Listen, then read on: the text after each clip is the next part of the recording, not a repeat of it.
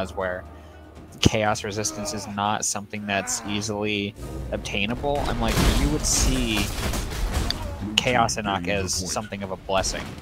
Like if you Well, I mean, Afak probably no does have caps, bro. Like, it definitely has caps chaos. Like, for sure. Uh, no, I don't think I've ever fought